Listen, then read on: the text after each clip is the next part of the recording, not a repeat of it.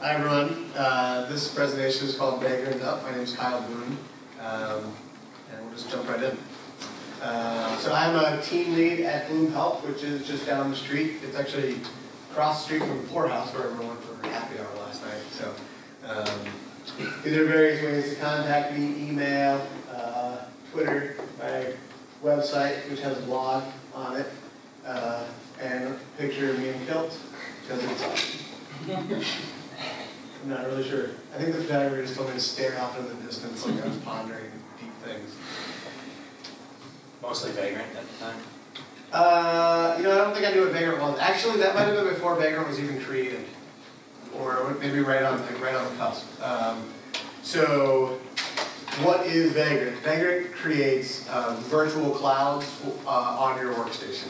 So it is essentially just a wrapper around other uh, virtual machine technologies. So um, the free version of, of Vagrant uses VirtualBox. Uh, you can add um, plugins for all sorts of other things like EC2 virtual machines or, or uh, other VMware type things, uh, you know, more expensive that are faster and, and, and better and things, but um, we just use VirtualBox all the time and, and it works fine. So uh, essentially it is a, an application or to let people run um, virtual, create virtual machines in a consistent way across all sorts of different environments and do that from a way that can be checked into source control. So if you have a, a Vagrant file and you want to include that as part of your project, and let's say you have some developers on Macs, like I see most of us have, and I know you have one weirdo on a Windows machine, uh, that one weirdo can actually use the same Vagrant file and install Vagrant and create a um,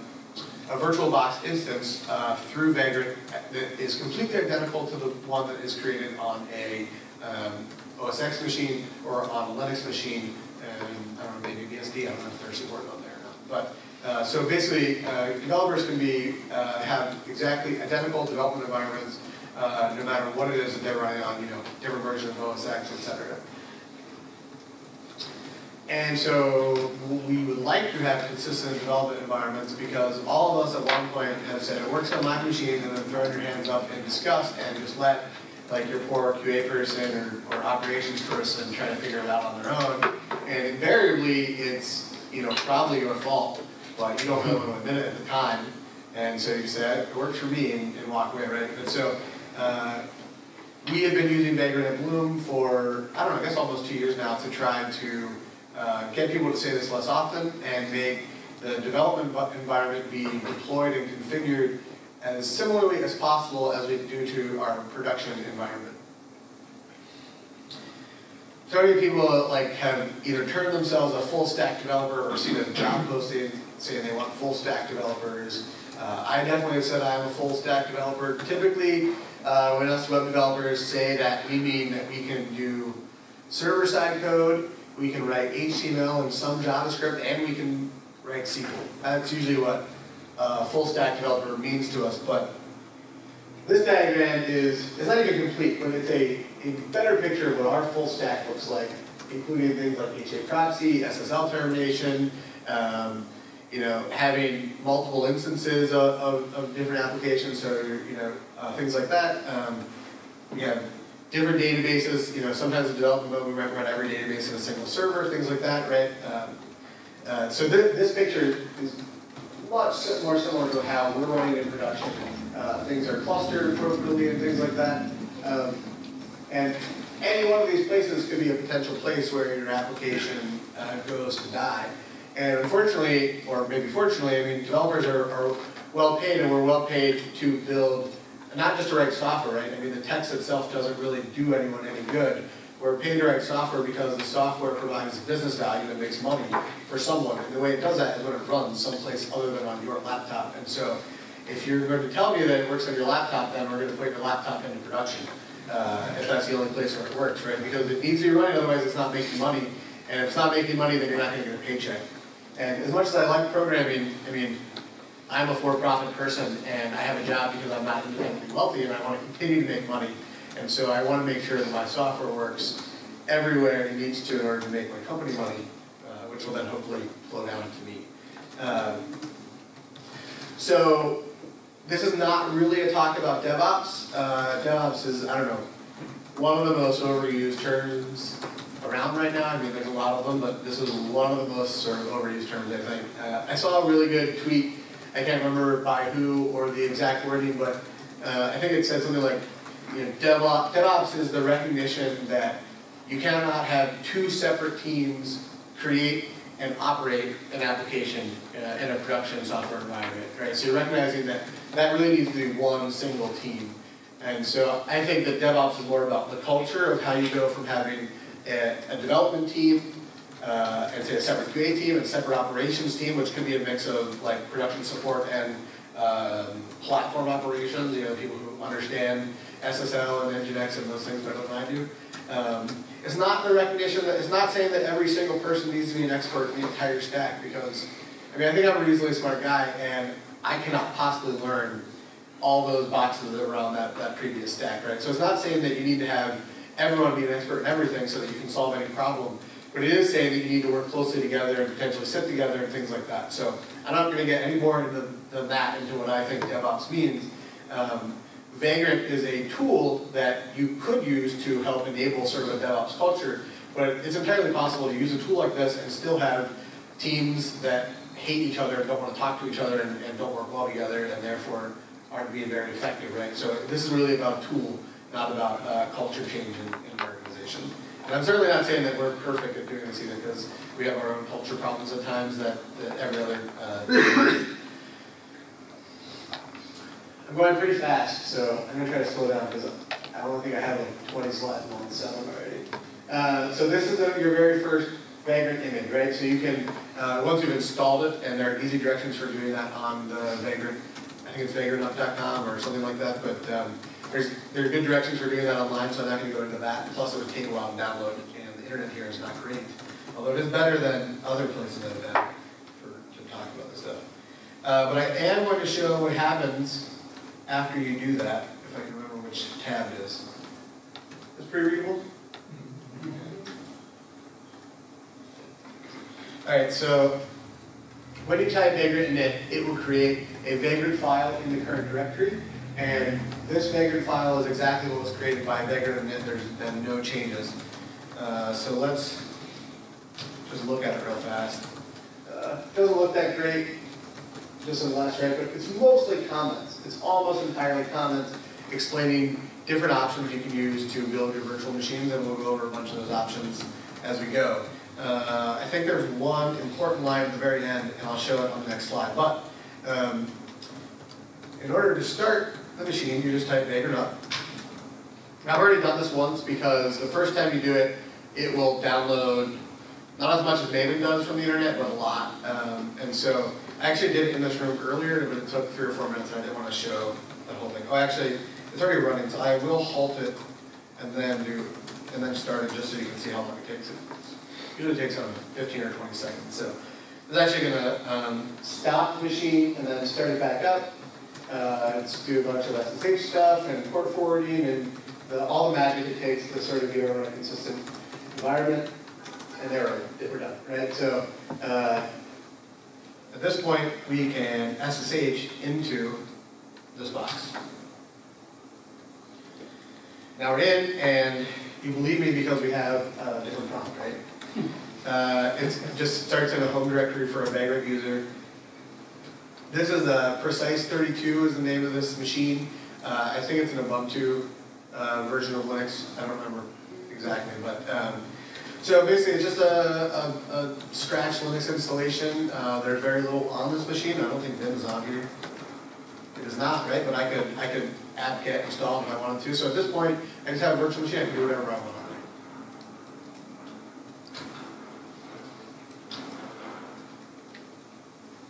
it.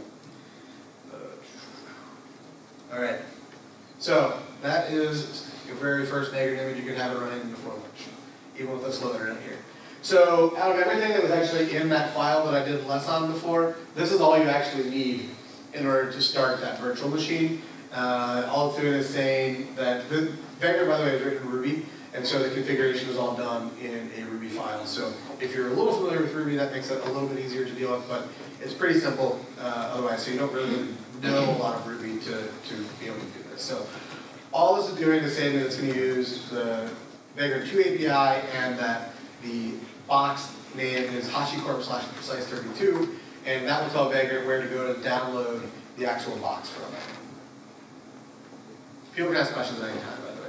But we'll get into some of, some of what these terms mean as, as we go. Um, this is a, just a list, this is sort of a brain dump of Vagrant commands.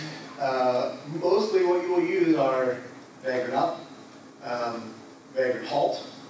I, I'm gonna write a plugin sometime that renames halt to down because down is the opposite of up. I, I don't know how many times I've written Vagrant down. Uh, but Vagrant halt was a little stop machine, that's what I, I ran on the, the previous uh, I time. thought Vagrant stop all the time. Yeah, it doesn't work either, yeah. Yeah, you can't write plugins, so you could rename you want. Um, destroy will actually delete everything. Uh, so that's like I give up and I just want to rerun everything from scratch and download the internet again. Um, you will do that sometimes, you know, hopefully not a whole lot, um, but uh, that takes a little bit longer, so I'm not going to show that one. Init, uh, I don't really ever use it either because all it does is create that base uh, Vagrant file, and typically I just go find an example of something that's similar to what I want to do anyway and start from there. Um, so I don't, I don't use that a whole lot. Um, you can manage plugins and you can, um, you can rerun provisioning as well uh, on a machine that's already running. And we'll get into what the provisioning step is a little bit later. Um, reload is a pretty common one because Vagrant uh, has some issues where like if I shut my laptop, there's a decent chance that uh, I will lose certain bits of internet connectivity. Uh, and so sometimes when I, if I shut my laptop and the machine is running, I'll need to do a reload. Um, but sometimes you don't, so it's sort of hard to, to say. But I do, I tend to, when I get into work in the morning, I'll do a vagrant reload and just sort of make sure everything's happy. It's about as fast as doing halt and then up anyway, so it doesn't really, it sort of just really, I don't know if it does both or what, but it's pretty fast. Uh, and then if you want, you can do like suspend and resume. And so what that'll do is actually, um, whatever is happening at that exact second on the machine, like let's say it was literally in the middle of serving a web request, it will stop. And then when you resume, hours later, it will just resume doing whatever it was doing at that exact time. Um, so reload is more like going to shut something down and turn things back on.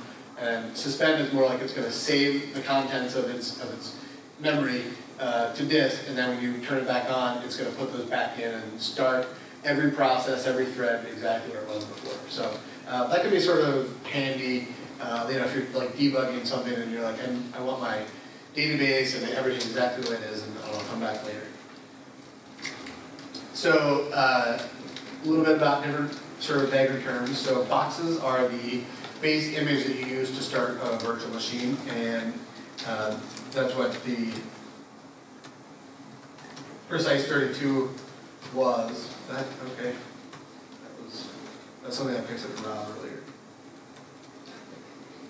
But if you go to this site, I got here earlier, so it would be loaded. But um, there are tons of pre-made boxes, um, and you can add them to Vagrant at any time. So um, there's all sorts of different versions of Ubuntu. You can have 32-bit machines, 64-bit machines. There's um, boxes to use EC2. There's boxes for all, all sorts of different things. So um, we typically just use the Precise uh, 64, I think. I can't remember exactly, but um, we use one that's uh, as similar as possible to the Amazon uh, image that we use when we go to production. Um, so there's tons of things like that on, on, on Vagrant's website.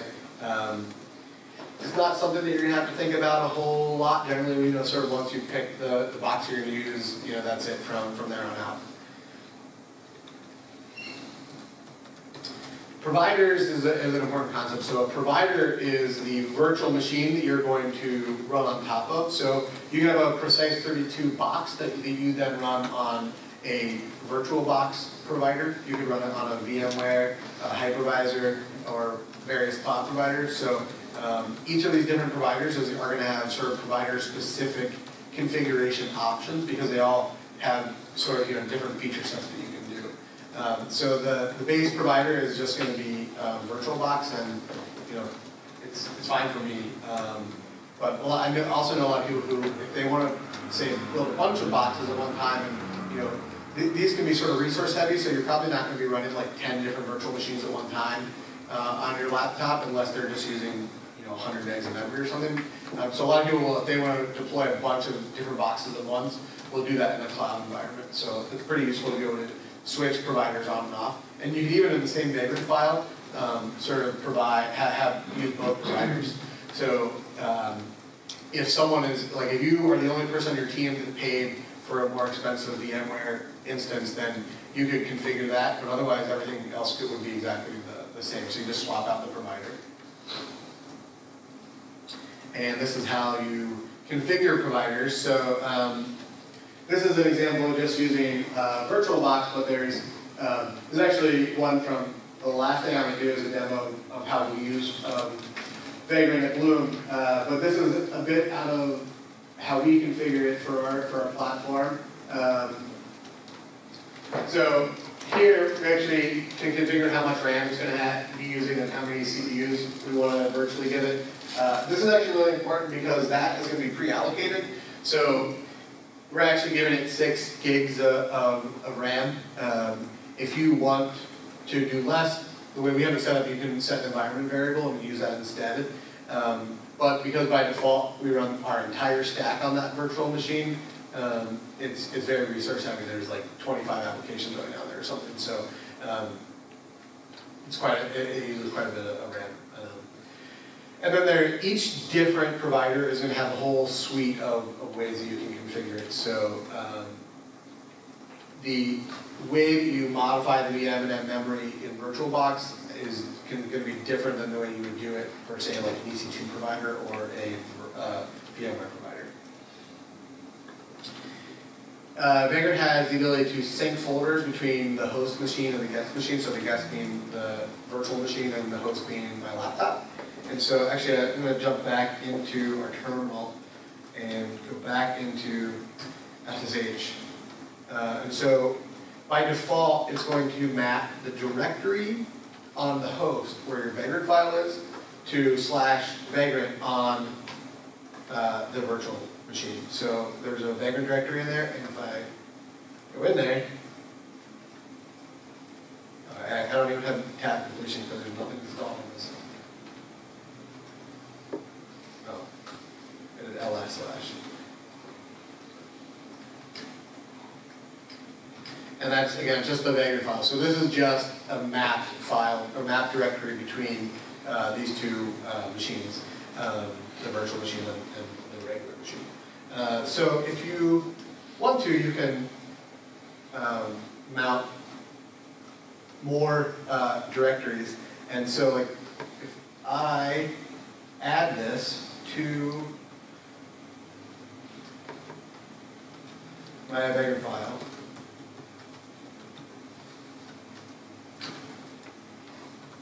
I go all the way. I'm not very good with Vim, so I don't remember how to jump down to the end of the file, so I'm just gonna scroll. I tried to learn like 17 times and I give up every time. Ken Kousen says he's been a, been a user for three years, and that's only because he can't figure out how to get out of it. I do know that one. I've got that one down. So what I'm just doing here is I'm mapping uh, one directory up from the directory the Vagrant file's in, uh, which is the directory that has this presentation, to slash presentation on the um, guest machine. And somehow whenever I do a presentation, I become physically unable to type. So now, oh, I'm gonna have to do a reload on this because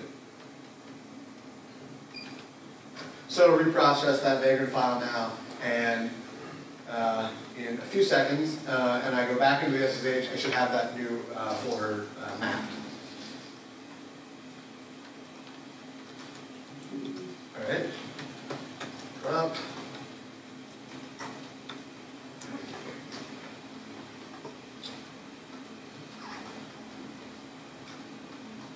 Presentation directory there. And there it is, my Reveal.js presentation. So um, we actually mount directories that have a bunch of chef recipes in them and things like that. So uh, this actually can be a pretty, pretty useful uh, feature of Vagrant. So yeah, map any, anything you want Is that into the, something- Sorry. Yeah, go ahead. Is that something that the changes are instantaneous, you don't have to go in and say like, you refresh, things out, sort of look into to, to see it? Yep, yeah, as, eh, yeah, it's using NFS, I believe. Uh, there's a couple different ways. Um, so I may not be using NFS here, but yeah, basically, as soon as any change I make, they will be reflected on both file systems. So, um, one thing that can be good to do, I, I think, is that you can map, um, like, let's say that I have source code for a service that I'm working on. Uh, I can map that source code, and then I can run the build on the Vagrant uh, instance itself if I want, but I can also say load it uh, in IntelliJ uh, and then have the source code be mapped in both places, and so you can uh, do fun things like that. Um,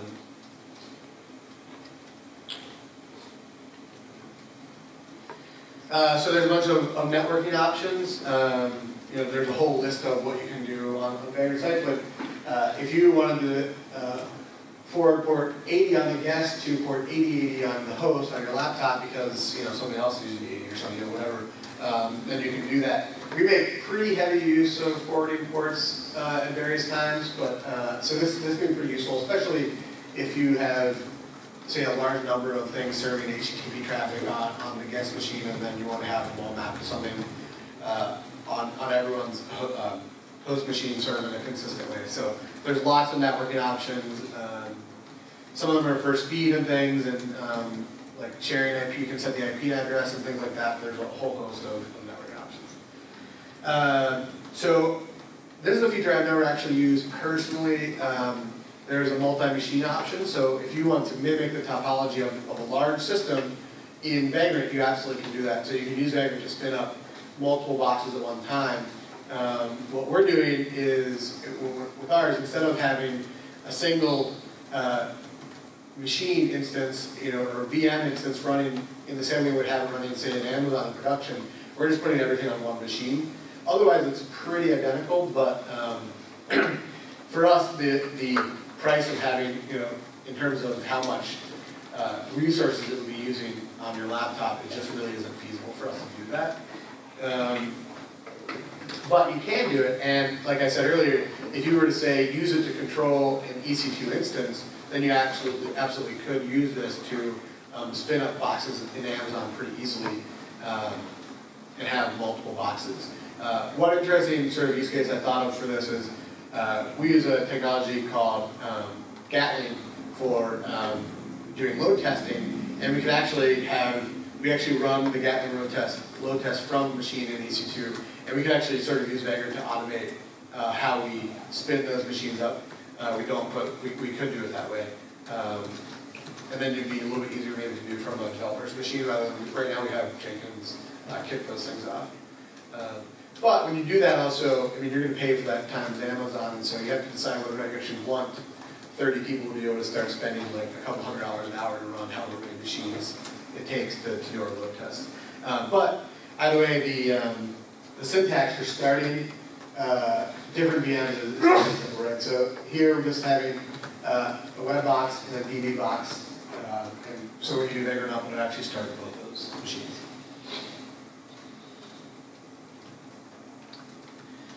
So, so far, it's just sort of automation, right? I mean, there's not, everything we're doing you can do with VirtualBox pretty simply.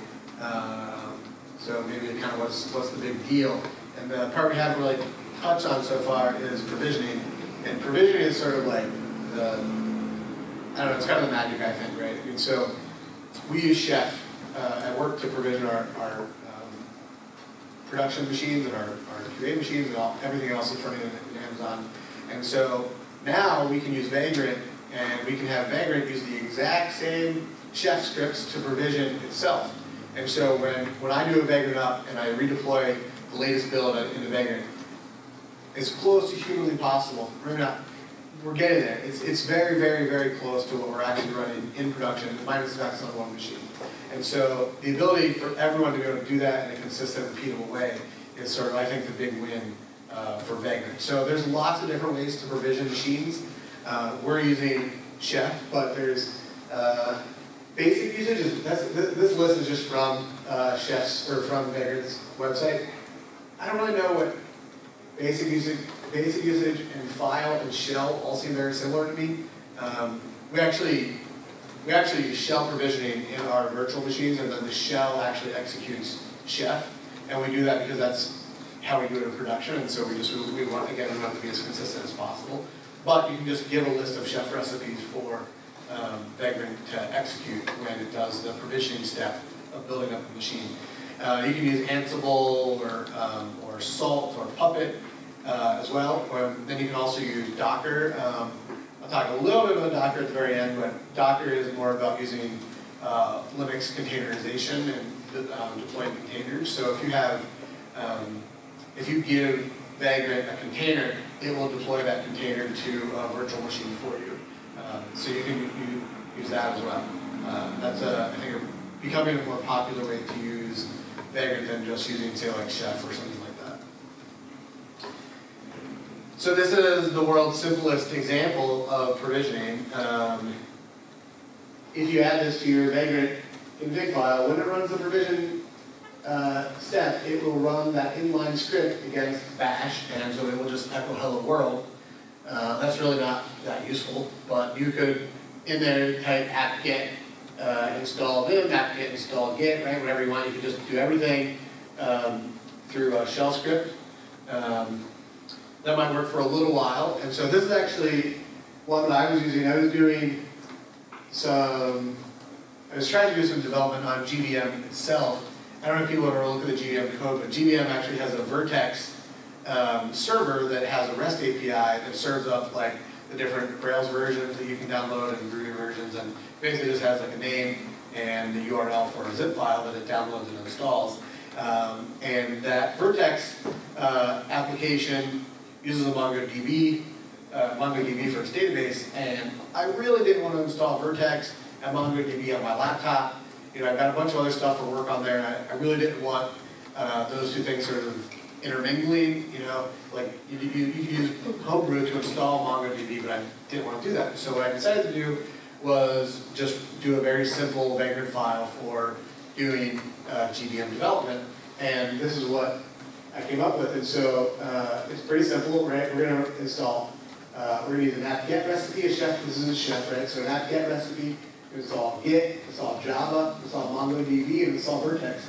And then after that, um, I think this was this file was in my the I had it in the source code directory itself, uh, the top level directory for the source code, and so the source code was mounted uh, in the Vagrant instance, and then I could do you know, Vagrant SSH, and I could go in there and I could run the integration test for uh, GVM without ever having to install any of that software on my laptop.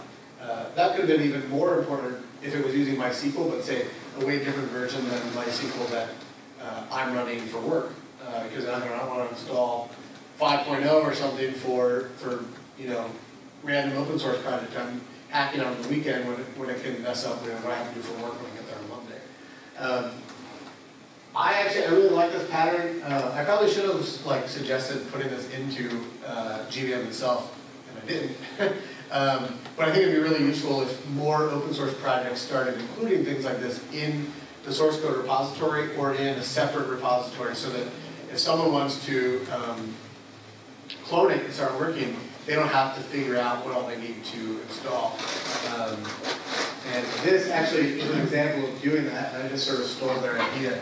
Uh, in Before I ever started working at Bloom, I, I did some Rails development at IBM, and so this is a Vagrant uh, file for doing uh, hacking on Rails core itself. Um, so there's a list, I think it uses Puppet instead of Chef, but it installs Git, RVM, and Ruby, and Bundler, and all this stuff that you need to hack on, on Rails.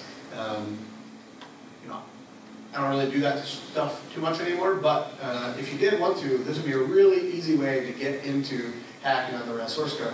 And I think it would be a great thing for Grails to do as well because um, I don't if anyone ever tried to clone and build the Grails source code, I mean, it, like, it takes a while to sort of figure out how to do it. I mean, I tried to just do a simple change to some documentation, and the documentation has to build the source. I think there's like some sort of interdependency there, and I never got to work.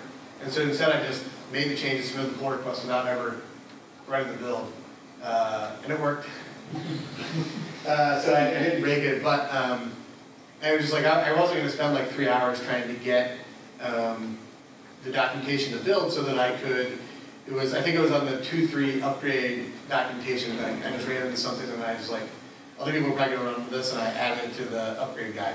It was like one line kind of thing, but the easier that people in the open source community can make it on sort of normal people like us to contribute back, then the more effective they are going to be at getting lots of, of contributions. And so I, I think it'd be a really neat addition, um, which maybe I should just do it myself, but as I said in my last presentation, I'm really lazy, uh, which is why doing things like this is really great for the community, because it lets lazy people like me um, contribute. Maybe I'll, maybe I'll do that tonight after, after happy hour again. Um, so that's really sort of the basics of, of, of Vagrant. Um, I want to talk quickly about a couple of sort of, I have two of those related projects. So Docker is uh, Linux containerization, and so it's, it's related in the sense that it gives you a way to run an application sort of in a sandbox, but instead of starting an entire virtual machine, it uses Linux containerization to just run a container. So you have a read-only uh, file system that's basically a clone of the file system it's running on, and it has, it'll run a single process at a time. Um, so it is a way to start um, basically getting some of the advantages of, of a virtual machine, but without having the extremely high overhead of running many virtual machines on your um, on your machine itself. Uh, if you haven't heard of Docker, it's like sort of taking over the world. I mean, everyone's using it.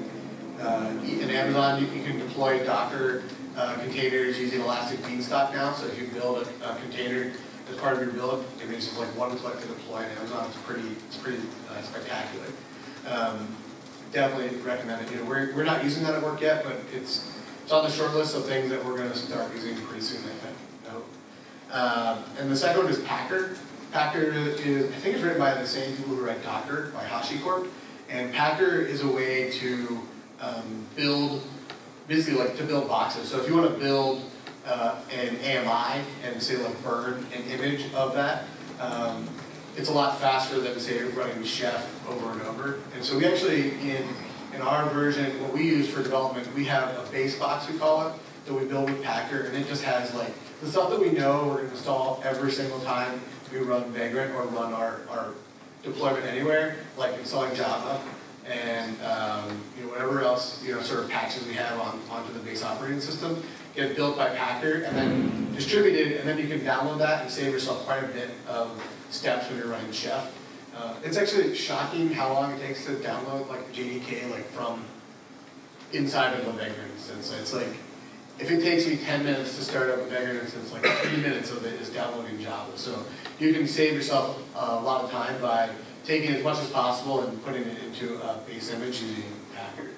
Um, so I didn't have time in this talk to, to get too much into those things, but if you're going to start using Vagrant, um, there are probably things you're going to look at pretty quickly afterwards. Another quick question. Yeah. Um, Docker, does it still say on the website, not ready for production? Uh, I don't know, um, but people are using it anyway. Right, that's my Um, impression. I mean, I've, I've talked about it at my job, and they go to the website and they're like, oh, it says right off here, don't use it in production. And I'm like, all right, well. Yeah. One point out. Did they go to one point Yeah, recently? yeah. Yeah. Uh, and Docker went to, I mean, people were using, the, the Docker people said it wasn't ready until 1.0. People have been using it since like 0.6, or maybe even earlier than that. Um, so, yeah, I mean, I think Docker just went to 1.0 like a month ago, something like that, maybe six weeks. So it's pretty, uh, pretty recent. Um, but it's, even for being a 1.0 project, it's pretty, I think it's pretty stable. Uh, Vagrant's been around, I want to say for about three and a half years or so, maybe four years tops. Uh, and Packer for like 18 months, not Packer, but Docker for like two years, 18 months or two years. So this is a space that's really been rapidly evolving. Um, and it, it can be a bit of a pain because sometimes documentation you find around Vagrant and stuff is for like pre 1.0 and it's pretty different from the pre 1.0 days. So if you're looking for stuff online, I would definitely recommend trying um, make sure you're like I sometimes I actually would just put when I Google I would just put the month. I put like now, like December 2013 or something, like whatever it is. Like I want I don't want anything before that if I can. So I just like put it in Google search. But um, here's some links, and then I want to get into a bit more of a demo after this. Um, So the Vagrant documentation is really good. Uh, the up and running guide on there is really simple. I mean, you can, you can have the stuff running this afternoon. And the Vagrant source, it's all open source, so it's all hosted on, on GitHub. Um, I have a little bit of a Ruby background, and so I'm able to get in there and, and read the code. Uh, it's not that bad. Um, if you have no Ruby background, then there's probably a bit of a learning curve, but it's, it's not too bad. Because like I said, it's mostly like automation and stuff, so there's not a lot of, you- you're not having to deal with like building virtual machines themselves, right? It's delegating to VirtualBox to do that. And so now I want to show how we use uh, Vagrant at Blue Um, so this is an application we call the App Starter. So this is vagrant.bloom.com is actually resolving to my laptop. Uh, we just do that so that everyone has this, everyone, you can like give people links and it's always gonna resolve to your laptop, but uh, just sort of you know, a host setting, but um, it's, yeah, it's just my laptop. And so we're running this little Python application on uh, the Vagrant instance itself, and it is talking to every application that we have running on here, and it's telling me the version that's running, if it's up, like if it could be down or it could be degraded. It's actually calling into the health checks and saying, do you have everything you need? Is MySQL running? Is Redis running? Blah, blah, blah. And if one of those is reporting to go down, it, it can come back as degraded uh, rather than just like totally down. Um, when I click into here, um, it's actually, so this is all just pretty simple stuff that's, um, most of this is either executing a, a chef recipe, actually on the box, just remote uh, executing a chef recipe, or uh, this stuff is actually, um, this, is- this is actually coming from a web service, but all of this data is actually just coming out of the jar that we built, the jar or the war, depending on what it is, that we built in, um, in Jenkins. So we put all this stuff into the jar, but then it gives us um, the ability to grab this stuff out, the app version, the JDK we built it with, the build number. I can actually go to that specific build URL and, and look at the changes that were in there. Um, these buttons let us do things like um, I can I can stop or start it, and then the most useful thing is I can actually say I want to run this uh, locally on my machine. And what that does is that because this is part of a platform, and so this is our authentication application. So anytime you need to log in, I should just go there actually. Uh, if I just go. So this is actually talking to CAS, Central Authentication Service, is running on Vagrant itself. And then it's saying, no, you're not logged into anything, so I can't direct you to a, a real application. You need to log in first. And it's redirecting us to uh, our authentication application. Uh, and that happens identically to how it does in production. Um, but if I said that I was actually going to say, as I do quite a bit, and I'm going to make changes to that application, um, then I can click this button, run local, and through some port forwarding magic, it'll actually have every other application in the stack that might ever redirect someone to the auth application um, will now redirect to my local host um, through port forwarding. And so then I can, I can run that one locally and I can make changes, and I can start, stop, and have debug easily without having to deploy into the, into Vagrant itself. Um, and so it's a really powerful feature for someone who is working on one specific piece of our platform, but they want to test it holistically as part of the entire platform stack. Um, if you had to run everything locally and you had to actually understand all the dependencies between the applications to run all that stuff locally, most people would never be able to do an effective, myself included, would never really be able to do an effective job of that. I mean, there's, uh, I don't remember what I said earlier, I think that, but it's like 15 or so applications running, right? So um, it's a, it's much easier to, to, you know, I run one thing on my laptop and then everything else is running out here. Um, there's other sort of some neat things on here. Um, for things that are Dropwizard services, we can actually look at Swagger documentation. Um, Swagger is what we use for building the documentation for our, our REST APIs. I don't know why this is so slow, but it really, just for Swagger, it's really slow. It will eventually go to the right place. But, so I can go in here, and these are all the REST endpoints that this um, service provides. And I can go in and I can test them. And so we can actually uh, have our QA people test our REST endpoints without them having to understand how curl works. Um, they can go in here and you know they are all technical enough to understand what this stuff is, and they know how to go to the database and get you know the right data. They can put it in here, and so um, they actually do at the very least sanity check most of our REST API development and make sure that when we're expecting a 404, that we actually get one. We expect um, a, you know, not authorized or whatever exception we're expecting, that the right stuff happens. And, um, and then even in some of the services, they can be pretty, pretty technical in the sense that, you know, there's actually a logic flaw in, in, in some of that stuff. So, um, yeah, this makes it really easy, and they, they, uh, the QA can actually also run, uh, Vagrant locally and, um, and have all the same stuff running. Uh, and I don't know why that one. So, that's one tab, right? I can actually, because we have so many things running in here, and like I said, it takes six gigs to run all this stuff. Um, if you want to, like, the auth stack is a lot smaller, right? Because there's certain things talk to it, it doesn't talk to this ETL service, it doesn't talk to half of these things.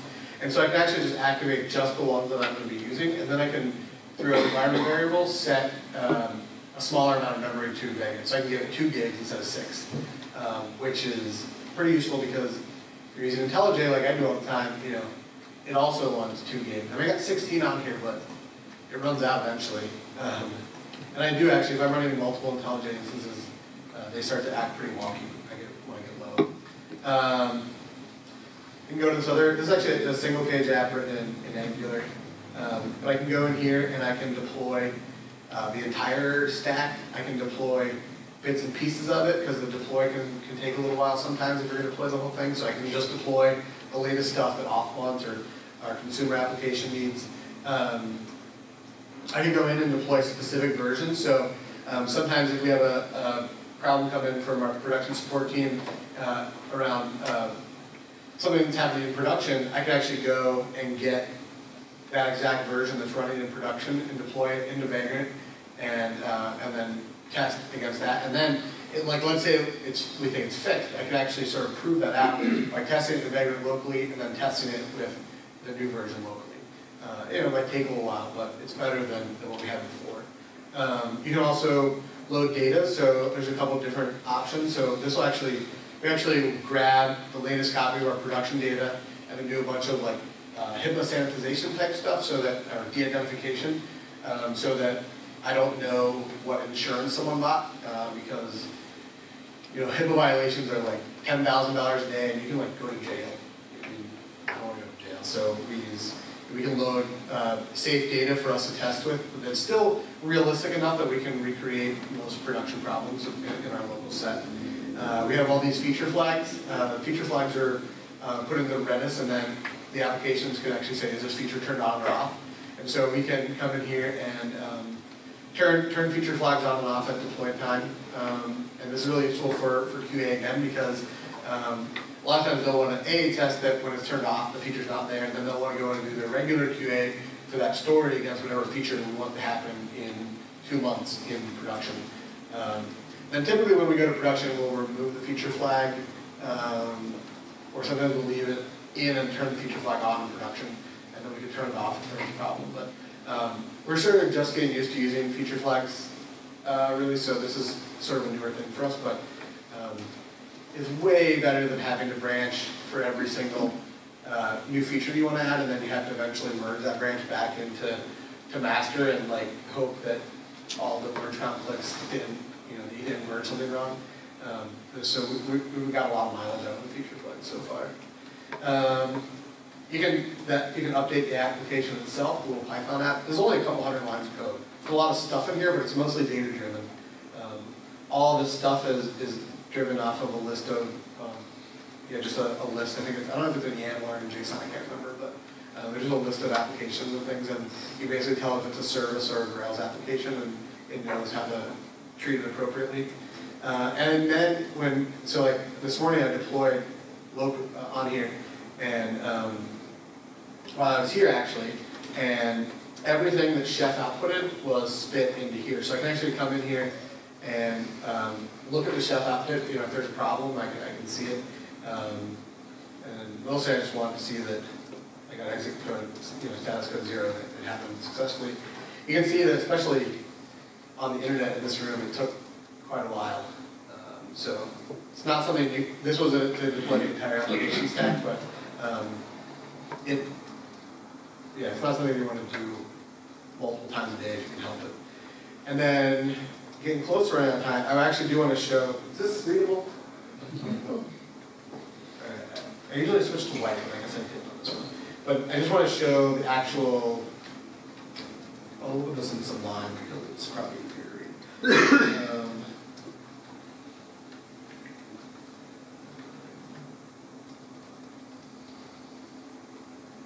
wasn't at the right one. All right, never mind.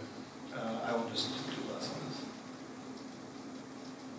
I just want to actually show the Vagrant file because um, most of what I was just showing there is our automation stuff on top of Vagrant to make things easier and to work with our particular application stack. But the actual Vagrant file itself is pretty small. So um, we saw before, we're just um, you know same stuff at the top, and then um, there's a couple things in here for people who are testing out new features uh, that we might be rolling out in, as part of our, our App Starter application. So just some environment var- variable stuff, uh, how many, how much memory, right? Six gigs. We can um, override that with environment variable if we want. Um, it's just setting up a host name and uh, some the box that we're using. Uh, so that Vagrant Manager Base 2 is what we built with Packer. So we download that once and it makes Chef run significantly faster. Um, that's the URL for where that box is stored out in Amazon. Um, here we're actually configuring the, the virtual machine and then configuring some network stuff. We actually mount the Maven directory into the Vagrant instance itself because then when, uh, if I run the build locally and I install everything into Maven, then I can actually go into Vagrant Manager and deploy what I just built. So it doesn't have to be built from uh, Jenkins, it can be built locally and then deployed into Vagrant Manager, which is a neat feature. Um, but again, it's all, I mean, it's, we're not doing a whole lot of stuff to set all this up. Um, and we started out with even, even less than this. And then at the very end, we're just, we're gonna mount our provisioning directory, which has all of our chef stuff. And then here's where we're gonna actually call out to our startup script, and that is um, basically the same as what we would do in, in production. And that's it. So that means, I don't know how it is, maybe 150 or so. Um, and all the rest of the magic happens in Chef, and then the tiny sort of app manager app. And we've actually we've considered open sourcing it, but right now it's not quite easy to configure it for just anyone. It's tied fairly specifically how, how we do stuff with feature flags and things like that. But um, it's, it's certainly an option for us at some point. Um, it's pretty cool. Um, so I have questions. Is the feature flags, uh, your uh, customization, or is that box? That's just our customization. We just wrote a little jar that, um, and it has some groovy closures for responding to feature flag turned on and off. And we have, um, you actually have to, like if we add a new feature flag, someone actually has to go in and add a line to, I don't remember a configuration file or the web app itself. It just says what the name of it is, and then it sets that value in Redis. And then the application responds to the uh, changing values in Redis. It's pretty similar. There's a Grails uh, feature flag plugin, and it works pretty similar to how that one works. You were saying for, to run that whole stack at six gigs Yeah. of RAM, is that something that if you had that in Docker, you expect it would be significantly less? No, because most of it is the applications themselves. Um, yeah, Grails apps are memory intensive. So, I mean, most of that, I mean, actually, I would say a third of it is our sort of legacy monolithic app. I think we give it two gigs or so. Um, I can't remember, three, I think it's three. Yeah, so half of it is a single application running in there. The drop-in services, I think, run in like 256 or maybe even less. Uh, You can definitely run them in 64. Um, so we, we, at one point we were over, we were at eight gigs. Uh, so we have trimmed it down a bit. Um, but until we totally get rid of our monolithic legacy app, it's, it'll be hard for us to trim it down much. Said that, um, or I maybe just said, forget, uh, do you run those, you run the Vagrant, um, machines in production? No.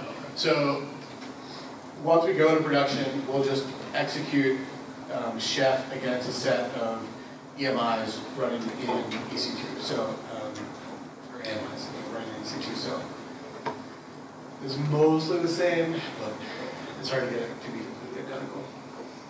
But the, the big thing is, is that the process for building the configuration, because Chef builds configuration files for each environment, and that process is the same within um, Vagrant that it is within Amazon, and so most of the time when we run into problems, it's like someone forgot to add a new, you know, a new configuration option to the production config file or something like that. Um, And so now, when we see a change go in, it's like, hey, we can actually, like, in the pull request process, be like, you need to make sure you make that change to production as well. And then when we run, when we run Chef, you can be reasonably confident that if it run, worked in Vagrant, it will work in uh, production as well. Like Ninety-four percent now. Other questions? I think it's the last time. It's good last time.